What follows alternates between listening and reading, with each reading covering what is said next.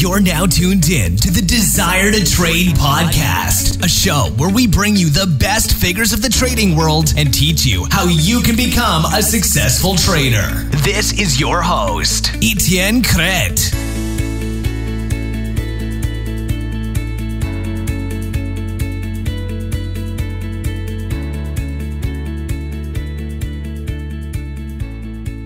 Hey, what's up, trader? It's Inkha here, founder of to Trade, and welcome to episode 58 of the Desire Trade podcast. I really hope you took something out of the interview with Van Tharp last week. This is a great one, and I know there's a lot of things you could implement easily in your trading, so I really recommend you check this out. Now, this week, the episode is different. It's with someone that I also respect, and I found him through the International Traders Expo. What I really like about Paul Wallace is his focus on performance and he helps people to have a performance mindset whenever they go into trading. Now, I strongly believe this is important, and that's why I brought him on the show. So we'll go on with this interview with Paul Wallace, and I'll come back at the end with the takeaways. Paul Wallace, welcome on the Desire to Trade podcast. How are you doing today? Hello, Etienne. I'm very well, thank you. And yourself? Yeah, very good, thank you. So we're recording this just to give a bit of background. We're recording this a little bit after Brexit. So it's been, I think, a few weeks now. But this podcast can be published only around September. But I want you to tell us what is your take on Brexit. Sure. Um, I uh, well, there's, there's quite a lot to cover there. It's uh, what it's the seventh of July that we're talking on, so it's been a couple of weeks since. You know, I uh, you know I, I, wrote quite extensively on my blog in the in the run up to it and, and over it and since, and uh, it's been quite. I mean, it's history in the making. That's what I think. You know, maybe people uh, are realizing that we've actually got history in the making. You know, if, if you look at this from a you know, financially, from uh, culturally, uh, politically, you know, from the markets, pretty much from every sphere of life that's had an impact on the I myself, you know, I, I, admit that I was a vote leave for my own reasons, but I also said that I, I, never actually thought it would happen. The Remain crowd had the money, the power, the media, the establishment behind it, and so I, I felt that Remain group would win, and it would just be a case of the margin of victory. So in some respects, it became it came as just as much a shock to me that it uh, happened as to uh, to anybody else. But then, you know, reading after the aftermath, you know, you know, even you know, number ten Downing Street, you know, major institutions, the European Union itself, the uh, George Soros, even they were all uh, sort of long and wrong in terms of the look on sterling at that time. So I think a lot of people got caught on the wrong side of that in terms of the initial move. And I've no doubt will um, the stories about that will start to come out. And since then, it's been messy, you know, in terms of politically. But my own view is, you know, I still stick to my own view is that, you know, there was always going to be, you know, a couple of years of pain and adjustment, but in the long term, it'll be better for the UK. And this kind of, let's say, this volatility has uh, provided some very nice trading opportunities over the last week or so. And this is going to be sort of a prediction, and we don't like to predict necessarily as traders because that's not the mm-hmm. point. But what do you think is going to happen with trading? With trading in terms of how it affects FX trading globally or, or how it'll affect retail traders? It's a pretty um, big question. I yes, think. yeah. So I suppose, what about retail traders? For retail traders, I don't think it's going to make a, massive amount of difference. You know, there's a lot of hype and hype hysteria at the moment, but you know, the world still turns, the sun still rises. It's, you know, in terms of retail traders, you know, what they have had the opportunity to do is to, is to watch history in the making and to watch how that has uh, affected markets. And I suppose the lesson I would want retail traders to take away is, you know, this is exactly why risk management is so absolutely key, you know, because I have no doubt that there was a lot of, uh, you know, retail traders who probably were trying to trade all of those volatile moves, especially you know, as it happened overnight during the day and they probably got washed out either on uh, you know, terrible spreads or, you know, excess slippage or just poorly filled or not not filled at all. And so, uh, you know, when events like this happen, and they do happen, right? They, they happen. They happen much more than we like to think. That um, you know, the best thing you can be done is to always be managing risk. And, and when an event like that happens, for most retail traders, for most retail traders, the best thing they can do is actually sit on their hands, let all of the absolute sort of kind of the blood and thunder pass through, and then look to trade the aftermath because that's where the real opportunities will be. Mm-hmm. Yeah, and I know a couple of people who went to try to trade Brexit and it didn't work out mm-hmm. great, but it wasn't worked. But yeah, I think it's better not to try at all. Yeah, and certainly all my clients, I had advised them to be flat um, sterling and sterling exposure, running into the sort of uh, the day of the vote and, and such. And even in the week beforehand, I myself was kind of had effectively just you know uh, unloaded sterling positions and was just completely flat any sterling exposure going into because you know the, just the volatility is just immense and, and that's what we've seen and you know, the truth of the matter is, as a retail trader, you're at the bottom. You know, you're at, you're at the bottom of the, uh, let's say, of the kind of the fishing and the food chain, and and so you know, invariably you're going to invariably get to the, you know the worst fills, you know, the biggest slippage, the you know the worst execution, etc. So you know, the, for most people, the best thing they can do is just sit on their hands and stay out of it. All right. Yeah, yeah, it did move. You know, yeah, sterling did move down from, and I was sat on a trading floor overnight in London. You know, I watched it double top head and shoulders there on at 150 and then collapse. You know, but the reality is that most retail traders wouldn't have been in the position to be able to really take advantage of it in a meaningful way.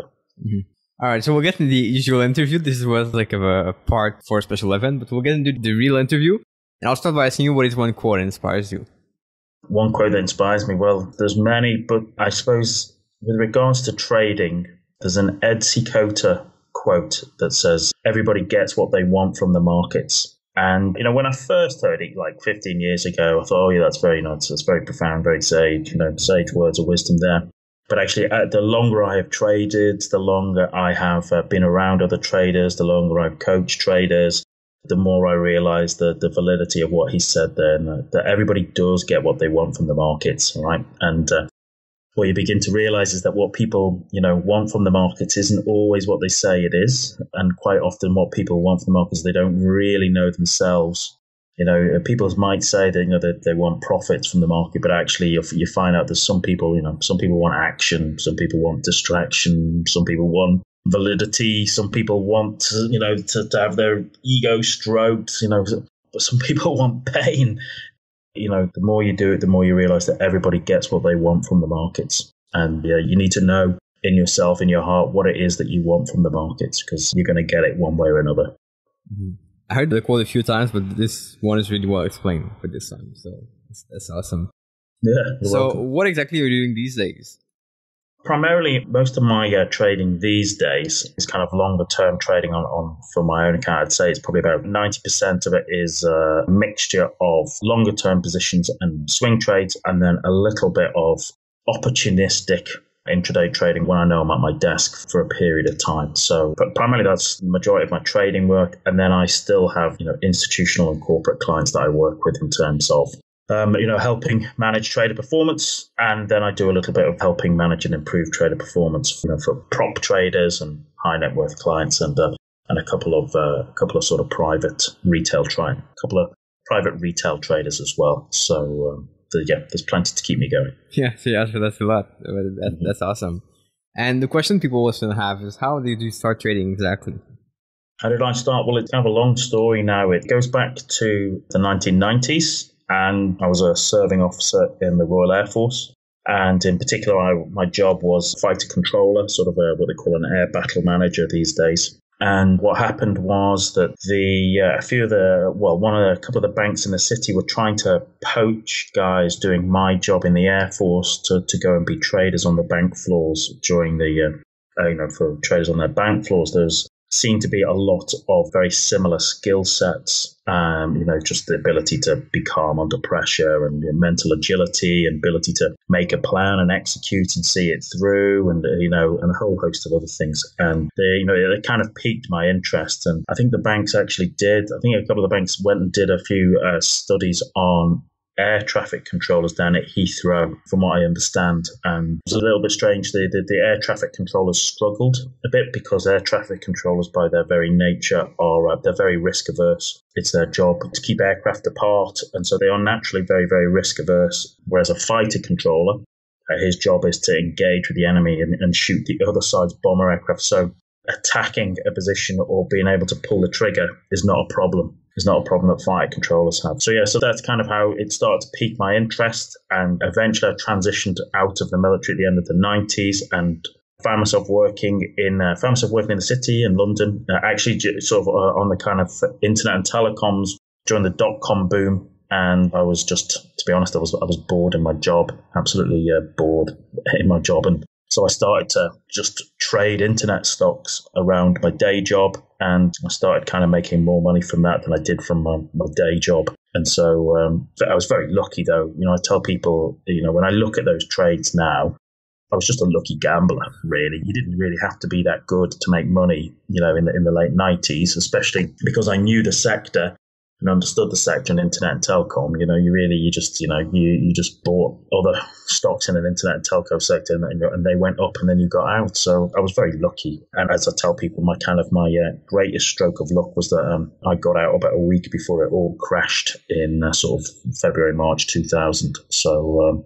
I uh, yeah, but that, as I said, that was luck. There was no real you know analysis or anything. I was just very very lucky.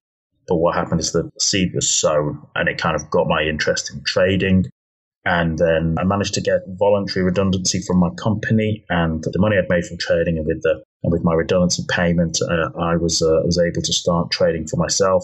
And just this was about the same time as FX markets had just become available to the let's say the retail crowd, which was kind of about 2003. And yeah, just one thing led to another, really. So um, yeah, that's how I started, anyway. Yeah. Mm. And did you ever sort of crash at some point because you were basically in a state where you felt confident about your ability to trade, right? Did that keep going, or did you fall like fall short at some point? I can. I've never like uh, I've never blown an account or anything like that. Uh, and um, I'll come back to the first part of the question about I've never blown an account because uh, one of the things I took over from the military was that you know, especially as a battle manager, is that you you know you're always looking to live to fight another day. You know that's, that's what you're trying to do. So you become intuitively very very good at managing risk.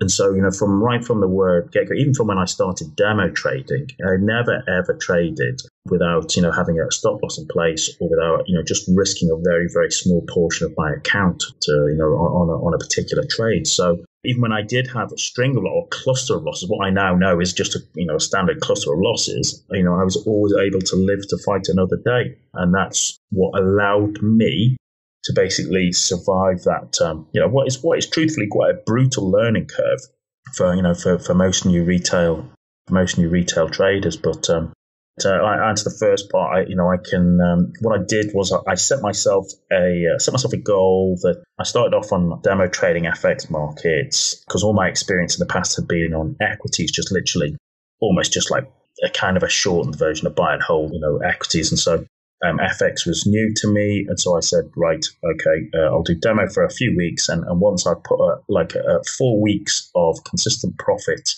week after week, then I'll sort of transition across to live trading.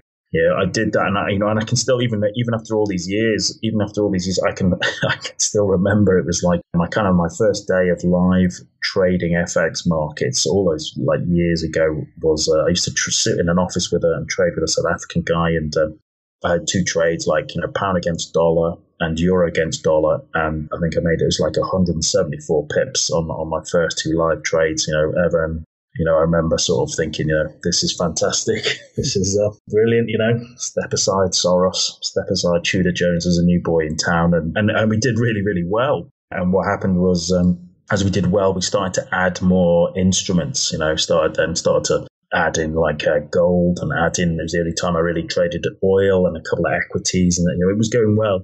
But then it stopped going well, you know, and, and it literally, you know, we started to take, you know, what I now know is just a cluster of losses. But at that time, it was just, you know, as a case of, you know, like uh, what we'd say in the UK is like, you know, you, you touch of deserted, you know, your purple patch was over. And so, you know, we pulled back, you know, I pulled back just to focusing on FX. But as I said, part of that, part of that was to do with the fact that because right from the off, I'd only ever, you know, risked a small portion on any trade and also never ever traded without a stop loss in place. I never moved stop loss, never, you know, anything like that. It was just, you know, my job was always to live to fight another day. So even when I did have a string of losses, I was able to still turn up next day and, and trade because I'd managed risk accordingly. And I recognize that is probably one of the big things that allowed me to sort of ride out that kind of, let's say, that brutal learning curve and you know help me to be where I am today. Mm-hmm.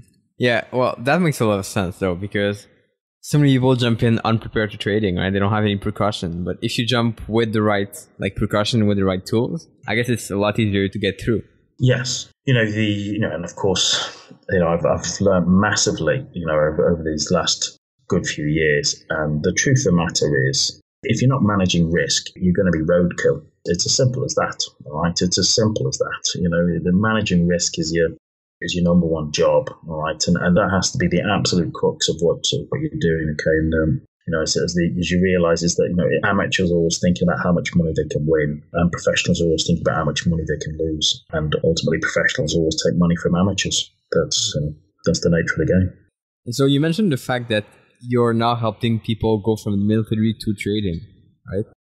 Yeah, that's um, what I realized was that over the last few years, I was getting contacted by quite a few um, veterans, um, you know, wanting to, to understand about trading. And kind of interesting when I was chatting to them about why, what was their driver, it, it kind of a lot of that resonated with me, as in, you know, the, these guys and girls, especially over the last, let's say, 10 years, where, you know, where there's been plenty going on in the world, you know, they've spent their early youth, you know, in, uh, let's say, in dangerous places and they feel as if you know they don't really want anything, but they but they earn the right to do what they want for the rest of their days. And a lot of them are now thinking, well, you know, I, I fancy the challenge of trading, which, to be fair, is exactly how I felt when I left the air forces. You know, I wanted, you know, I wanted another good challenge, and I really always fancied ending up on a trading floor. I fancied that the challenge of that, but what I realized was that you know I wanted to try and leverage their existing skill sets and utilize that as the uh, call it like the building blocks of you know helping them transition across to being, you know, good, effective traders. And I saw, you know, a couple, you know, about two years ago, I saw a uh, basically a fund manager talking about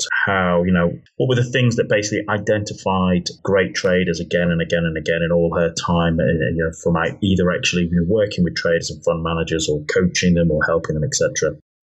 And she said, you know, it was three things they kept coming back to, which was uh, process, discipline, and self awareness. Uh, and they, these three things kept showing up, you know, time and time again in the sort of, let's say, the, the demographics of good traders. You know, I agree, I agree absolutely. I agree absolutely 100% with that. It's also one of the things that veterans tend to do very well. They tend to be very good at following a process. They tend to be very good at being disciplined enough to follow a process. And one of the things that it actually helped me, and I'm very big on, and is very is a real part of the kind of let's say the military chain is is about having increased and raised self awareness. Uh, you spend so much time, so much time like debriefing a mission to extract as much training value as you can out of it that it just becomes your natural way of life to debrief constantly. And so in trading, that becomes a really crucial element in that. You know, every time you debrief a trade, you know, if it's if it's uh, you know after the trade is finished, at the end of the day, at the end of the week, at the end of the month, at the end of the quarter, every time you relive those trades, well, then, you know, you're learning from it. You're doing what you can to accelerate the progress as a trader. So, yeah, so I developed a thing called, uh, over the last year or so, called the Veterans Trader Project, which was about giving these guys and girls the opportunity to learn about, you know, how to trade markets on the basis of those, let's call it those three elements of process, discipline, and self awareness. And interestingly, what I found was that it turns out that, you know, actually lots of just normal guys and girls who are trading are intrigued to learn and understand about that way of trading and, and recognize that maybe, you know, where their trading endeavors had failed in the past was because that, you know, they had very little in the way of process, discipline, and self awareness. So, as I said, those are the kind of building blocks I'm working with to try and help give these guys and girls the sort of insight and backup and support that I never had. I literally was, you know, I literally was firing off in the dark, really. So, um, you know, if it helps them, well, then, you know, I'm chuffed to bits. Mm-hmm. So I definitely want to jump onto those three topics because I see people cutting corners all the time about yeah. process, discipline, self awareness. But before, yeah. the only thing I'm wondering is do you find that the, the desire for people in military to take risk is impacting their trading negatively or is it a positive thing? That's a good question. I think they, as I said, I think they're actually intuitively good risk managers meaning that they know when there's a time to push a position and they know when there's a time to run away bravely. And, you know, there has to be a little bit tweaked towards, let's say, the environment of, of a market. But as a, as a general rule, the majority of, let's say, traders who are veterans, they tend to do pretty well. They tend to be quite happy. If they have a simple process to follow, They'll happily follow that. They'll put the trade, you know, pull the trade on a trigger, but they will also manage risk. Okay, they will also manage risk intuitively. They're not, you know, they only risk small portion of their account. They never trade without stop loss, especially the ones I've worked with, because it becomes so ingrained into them. You know, certainly all of the exposure I've had is that they are very, very happy and very comfortable embracing risk, but they also have a healthy respect for it as well. Yeah, I guess it's about finding a balance. There is. And I suppose everybody has to find that, don't they, really? Everybody has to find that element of balance. And, you know, I tell people that I can teach people. The one thing that, that I can't teach a person is, is to understand their own risk profile. That's something that's innately individual, you know, independent to that individual, okay? And, and understanding, you know, your own risk profile becomes um, hugely important. It's not a case of fighting it. You know, I've got to a, a level where I define people either people are either a GBT, a greed based trader, or an FBT, a fear based trader, and it's to a point where I can actually tell just from speaking to a trader, I can actually tell from their language and their body language what type of trader they are, and it's it's not a case of one. It's not a case of one is better than the other. It's about understanding who you are and working in alignment with that. You know, don't try and fight, you know, your natural personality because that's never going to really, that's never going to really, you know, work long term. It's about understanding who you are and then finding a way to engage in markets that's complementary to your own, you know, personality and character and beliefs. Yeah. So how would you go for someone to like someone who's looking for like who's fearing the market? How would you go about trading sure. with, with that stuff? Um, I think if someone's a fear-based trader, and I consider myself to be an FBT, to be a fear-based trader, I would say the key to it is simplicity, simplicity and precision. They need to have an immensely simple entry signal, right? That uh, doesn't need to be, you know, convoluted or about 20 things to line up. You know, maybe it might be three elements come together. That's their entry signal. It needs to be exceptionally simple and it needs to be precise, as in they know exactly you know, where they pull the trigger or where their trade is placed so that the reason is that is so that there is no opportunity for any ambiguity at that moment, no opportunity for hesitation to step in and, and cause them to doubt whether that trade should go on. Because invariably, a fear based trader, if doubt arises at that moment of action, they'll utilize that to use it as a means not to pull the trigger. So they just need simplicity and precision to know, you know, that is my signal. And when that happens, I pull the trigger. That's it. That's you know, no thinking about it. It's almost like a you know they practice it until it becomes an automatic process. Does that make sense to you at all? Yeah, yeah, yeah, totally. Yeah. And what about grid based traders? Would that be more trend following? I'm supposing. Or? I don't necessarily think it, not so much as it's trend following. Grid based traders, uh, the, the greed based traders are the ones who tend to go on and make the millions, all right, and tend to make the great fortune. But the reality is they don't. All right. And the reason they don't is that most of them are really terrible risk managers. Most of them are absolutely woeful risk managers. You know, they're always chasing the opportunity rather than rather than actually, you know, uh, managing the opportunity. So with a greed-based trader, in a kind of a way, it's almost about simplicity, as in it needs to be an immensely simple yet robust risk management plan that um, that allows them to, to know exactly what their exit is when they're wrong and they also know what their trade size is. So there's no opportunity for them to, let's say, uh, you know, put the Ferrari trade on and, and risk, you know, 25% of their account on, on one individual trade or something like that. It's about having a simple, robust risk management profile that they can follow trade in, trade out, regardless of, you know, whether it's their first trade or it's whether it's their thousandth trade of the year. So one of them really focuses on the trading strategy and the other it's more about, about risk. But you know, but then that's that's what you'd expect from a greed-based trader. That's you know that's where the weakness is, and, and invariably for a, uh, a fear-based trader, you know, that they'll look at using any opportunity to to avoid pulling the trigger, and so it's um, you make it so simple and so clear cut that there is no ambiguity about what their entry is. So let's jump into process, discipline, and self-awareness. Mm. I said it, and I see so many people cutting corners short on, on that topic, and really yeah. not having a process or like lacking one of those three. And I think it causes most of the problem in the end. Uh, yeah, I'd so agree. When we talk of process, what is it exactly? Is this a trading plan or?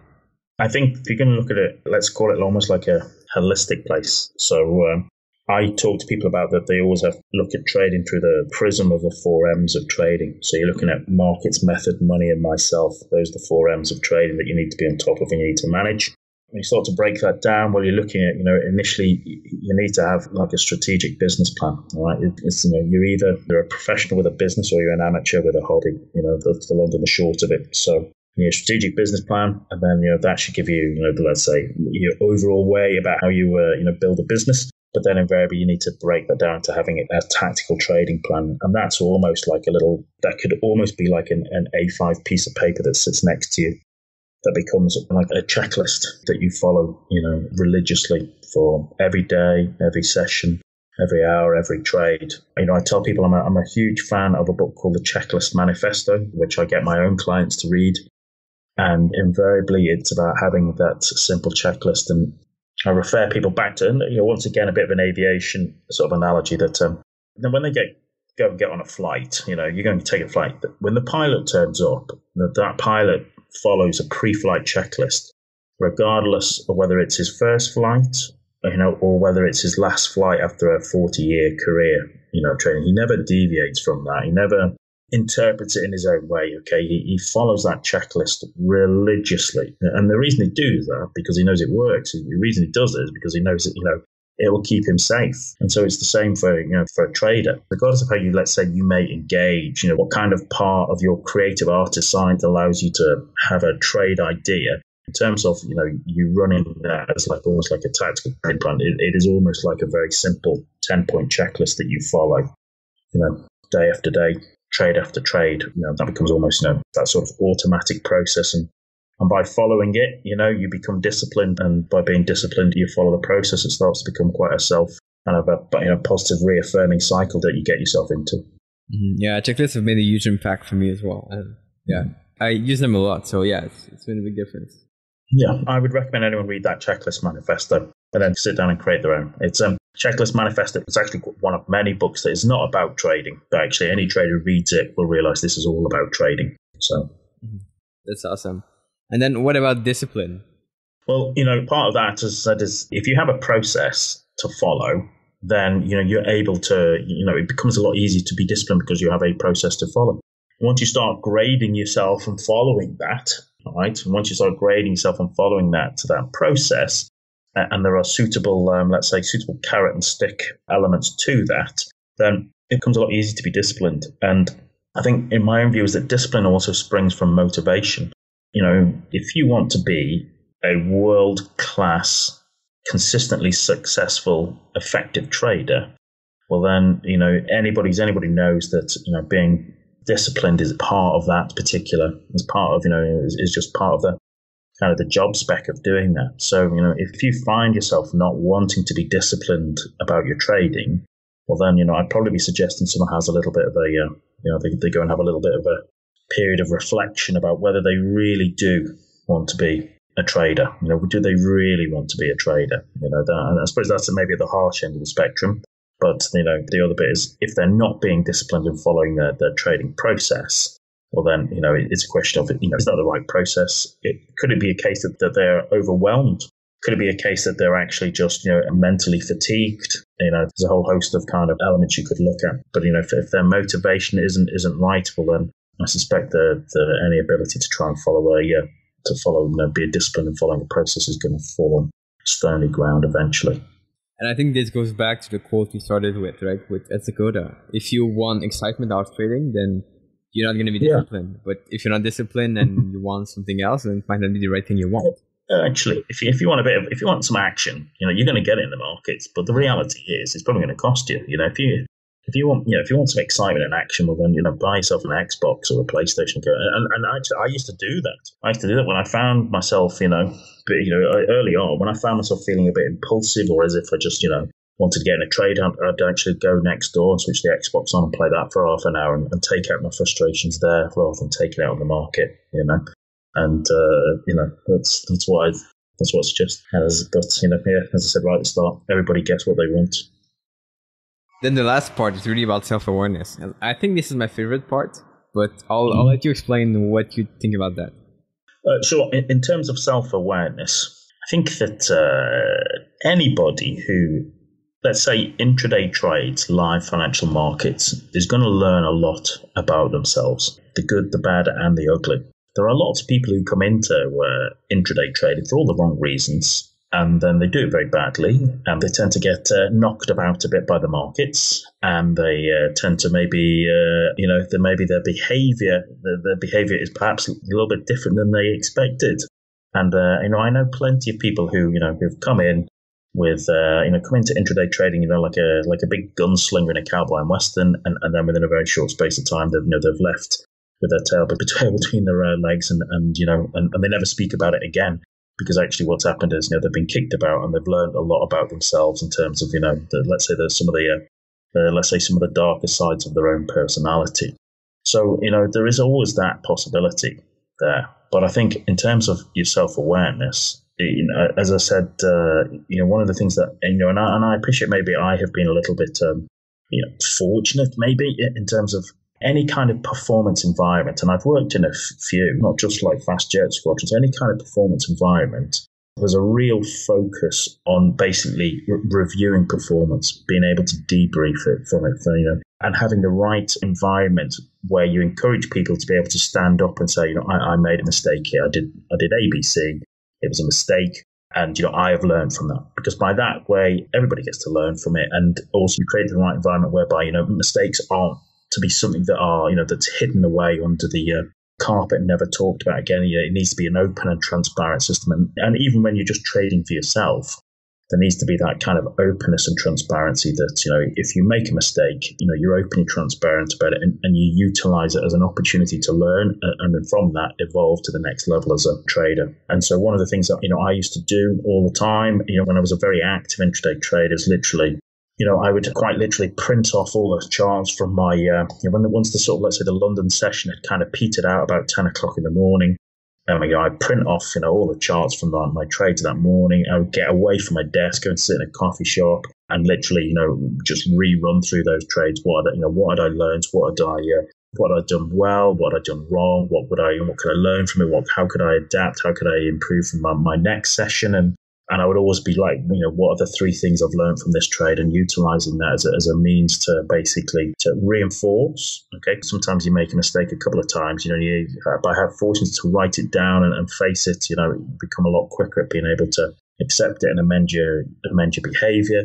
Uh, but also you start to build up a picture of your, of your own character. Right, um, most traders are the trend followers, but uh, what they don't realize is that, there will actually be trends within their own behavior as a trader. And what you're looking to try and do is, is to identify them yourself so that you can basically build on your strengths and do what you can to mitigate your weaknesses because everybody has their weaknesses. Don't let anybody ever tell you that they don't. It's about, you know, build on your strengths and mitigate your weakness. Yeah, this is it. I think it's really powerful. Makes a lot of sense. And how do you keep track of the thing you learn? You have some sort of journal yeah, I'd have. I still have. You know, I have. So basically, I would um, all my trades go into an Excel spreadsheet. Then I would write uh, basically an individual trade journal entry for each of those trades, and that would literally be like an A4 page, a process thing that I follow through. Uh, that also has the uh, attached screenshots from you know uh, before the trade was pulled, and then also what happened after the trade was pulled. So you know, I can look over my shoulder in, my office and, you know, and I can, you know, if I need cheering up, I can go and pull out a, uh, you know, a, a, trade sheet from 10 odd years ago and still look at it. And, you know, I can look at uh, how that trade happened and like, you know, you know, what was I thinking? You know, what was I thinking with that trade? That was just clearly very poor. But the flip side of it is it can make me chuckle, but also what it does make me realize is exactly how far I've come. Right. It's, um, sometimes people find that very hard to understand because they measure their progress just by the, the P&L of their account and that that's not always the best way to work, you know, because then you start linking your self worth and your self confidence and your self belief to your P and L, and that's never a uh, that's never a smart way. But by being able to go back and look at what your trades were like six months, a year, five years, ten years, you can start to look at you know you can take a bit of a, an objective perspective on, on exactly how far you've come, what you've learned, how you've developed as both you know trader and as a human being. There's a lot of satisfaction to be taken from that as, as you lean towards you know what you're trying to improve going forward in the future. And I think one of the angriest traders to just look back, like take a second to look back at how you were a few months ago, like, even if you're not successful today, yeah. but really look back and see how you progress. Because it's like sometimes you made a big difference. Like going from trading with no stop loss with trading with the stop loss, like it's already a huge step, right? Yeah, absolutely. Yeah. It's like you remember I said it's like it's running a business, right? And any good business has to take an inventory, you know, a couple of times a year to, to understand what they've got. You know, in your own business, you know, your inventory is you know, it's almost like your past trades and your IP, okay, in terms of what you've, you know, what you've learned and, and what you, how you've developed. And if you don't take the time to recognize that, well, then, you, you know, you forget what you've learned you keep making the same mistakes again and again unless you can go able to go back and realize that you know how far you've come how far you've developed how you've changed and, and how you've grown as a person and as a trader mm-hmm. so i feel like we've covered a lot but do you have any other advice for traders advice for traders in general well I, I suppose the vast majority the vast majority of retail traders you need to look at managing expectations much better. I think that the truth of the matter is that most retail traders are undercapitalized right? You know, so you know, I, I hear from traders telling me that they're going to give up their, you know, they're, they're fed up with their day job, they're going to give it up, and they've got, you know, they've got ten thousand pound they can put in a trading account, and, they, you know, and they're going to trade for a living, and you know, and everything's going to be great. And so they're always a bit surprised when I tell them that would be a probably a stupid idea and that they shouldn't do it. And so they're always a little bit taken aback by me thinking that I would naturally just uh, encourage them in that behavior. But the reality is, most retail traders are undercapitalized. And so, you know, thinking that, you know, you know, thinking that you can, you know, trade for a living off, off ten thousand pound account, can you do it? Yes, you can, and anything is possible. But in terms of the probabilities of being able to do it, you know, it starts to become those probabilities start to diminish very, very, very rapidly, you know. And so people are, you know, instead of treating, let's say, you know, 4% a month growth as, as something, you know, really great that they can work on and, uh, you know, and, and work towards every, every month, you know, you're finding these guys and girls, you know, they, they want 4% growth every day. Now, mm. is that possible? Yeah, I think anything is possible what's the actual probabilities of achieving that day after day after day because you've got to because you've got to pay rent and you've got to make you know pay for your car and your credit card and your phone bills and stuff.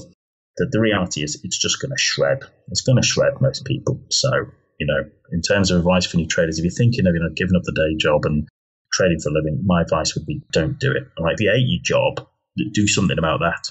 Right, you know, go and get a better job. All right, or go and change your job and then still trade about it until you're adequately capitalized to be able to do it properly because there's nothing wrong in terms of you know um, trading around a day job until you're in a position to trade for opportunity rather than trade for money. As soon as you sit down at, at your trading desk and need to trade for money because you've got to pay rent and bills, yeah, you're going to struggle. Right, your decision making processes will will be skewed. That the pressure will sit on your shoulders. You may not recognize it, but I guarantee it'll be it'll be there. So, you know, do yourself a favor, you know, take a long hard look at your expectations and, and you know, you know, give yourself a chance to succeed. That's right. And the market doesn't care if you want money or not. So yeah, yeah, yeah.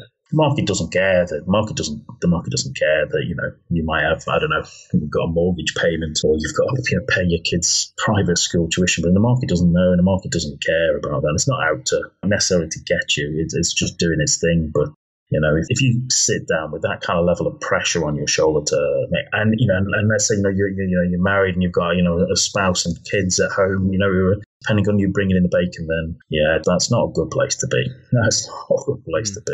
You know, do yourself a favor. You know, keep the job. You know, pay your bills. You know, have a good family life and, and trade around it, okay, and, and get better and uh, and then you know and let your account grow and compound and, until you're in a position to you know until you are adequately capitalized. So uh, that would be uh, maybe that's not that, that might not be very inspiring advice but it's the brutal truth of it unfortunately. Yeah but if people do it right it's just going to come and they're going to be able to do it eventually. Mm-hmm. exactly. Yeah. exactly.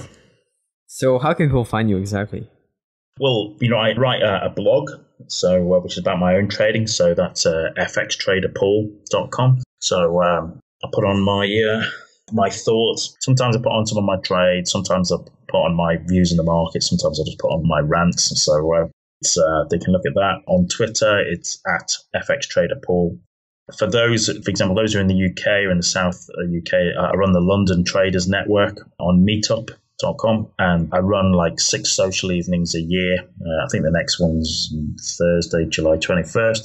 It is quite literally. Um, I, uh, you know, I, I, sort of kind of arrange for us to have a have a bar, and it's uh, traders of all walks of uh, life can just come and uh, get out from behind the screens, can have a, a beer and a chat and stuff. Doesn't matter whether you've been trading for two weeks or two decades. Just you know, come have a beer, have a chat, share your war stories. You know, actually engage in some uh, kind of geeky trader chat rather than uh, rather than boring your your nearest and dearest with your tales of fighting you know, dollar yen on an intraday basis. So yeah, so that, those probably the, the best ways that people could have a look or follow me. Pretty cool. And just small for instance, we do the same thing in Montreal. So oh really? Montreal, check us out. Yeah, well that's every single month. So yeah. Excellent. There you go. There, there, was a lot of value to it. There was a lot yeah, of value yeah, lot, to yeah. getting out from behind the screens and just going and being able to chat with someone who understands, you know, what you're going through, whether you're having a good time or a bad time. You know, another trader is likely to understand it far better than anybody else. Yeah, know? yeah, totally. Yeah. So it's good for you, and it's good for you to get it off your chest. So, Paul, what goals do you have for the future exactly? For myself, well, at the moment, see, I uh, I'm in Cheshire at the moment, but I pretty much have been splitting my uh, time between Dublin and London. In a post-Brexit world, I am uh, presently sort of deciding whether to go back to Dublin or whether to go back to London full time. The reality is, that I suspect I'll probably go back to London full time, and uh, I have a I have a couple of uh, I have a couple of fund management opportunities that are coming across my desk. I, I used to work for hedge funds years um, years ago, and I might investigate them, but um, people are always a bit surprised. They think that you know being like a fund manager is, you know, is the greatest job ever. But I tell people that you know be careful what you wish for. Being a good trader and being a good money manager are, in some respects, in some respects, very different skill sets. So, uh, so if I do that, that'll be good. But I'll still continue to run the uh, the Veterans Trader Project, the things like the London Traders Network, and I have a couple of other businesses and a couple of other uh, ongoing concerns. So uh, that um, you know, and that's what I'll work forward with them at. Yeah. And what is your main motivation to do all this? Interestingly, it is uh, autonomy is uh, is probably my driver. I, I, would say that's my main driver is that I get to live life by my own rules. Okay, I've I've uh, I spent my time in the military. I've been a corporate boy as well. I've I've worked you know I've worked for you know, FTSE 100 companies. I worked for you know small startups, etc. So I have had uh, plenty of experience of working for other people, and uh, actually, I uh, much prefer the autonomy of, of being able to live and work and, and operate by my own rules rather than by anybody else's.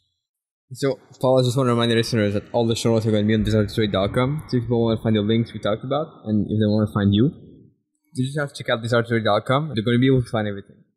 Sure. And yeah. Paul, I have one last question for you, which I ask every single guest, and that is sometimes tricky a little bit. But if you could give only one sentence of advice for traders, what would that one sentence of advice be? Uh, always manage risk. Powerful, powerful. It's all about risk. I love it. So, Paul Wallace, thanks a lot for being on the podcast. It's been a pleasure to have you here. And for all Pleasure. listeners, I'll see you in the next episode. All right, guys. So this is definitely an interview I'll listen back to a couple of times. I think there's a lot of pieces of advice here. I won't talk about all of them, but there's a couple of things you really have to note. And the one I really liked is about living to fight another day. So you have to manage your risk in a proper way to be able to get back the next day. If you have a bad day, a bad week, a bad month, you have to be able to get back. So that's why we talk about risk management a lot. And Paul's experience with veterans and himself in the military really helps to see that picture of living another day. And the other thing I really like is about the importance of following a process. And people in the army are usually good at that. They're able to follow direction. And that's what makes them great traders. But you can implement the same thing, even if you're not in the military. Then we talked about self-awareness, how to debrief. That's crucial. Eliminate hesitation, also crucial. And last thing, try to figure out if you're a fear-based versus greed-based trader. This is going to help you a lot to know what to implement and what you need to focus on at this point. So I'm really glad that this interview was brought up to you. And it's my pleasure, as always, to serve you and do my best to help you out. Connect with me after the show at desiretotrade.com forward slash group. And it's going to be my pleasure to interact with you and help you out in any way. If you have any question, send me a message or post in the group there, and I'll do my best. Last thing, check out desiretotrade.com forward slash join academy, and you'll be able to see the whole academy that I'm trying to put up out there to help traders and make a difference in your life. So, on that note, I'll see you in the next episode of the Desire to Trade podcast. Ciao. Thanks for listening to the Desire to Trade podcast. To get all the information on this show, free articles, and unique resources, make sure to check out www.desiretotrade.com and subscribe. Please leave us a review and let us know what you thought about the show. It's time to become the best trader you can be. See you next time.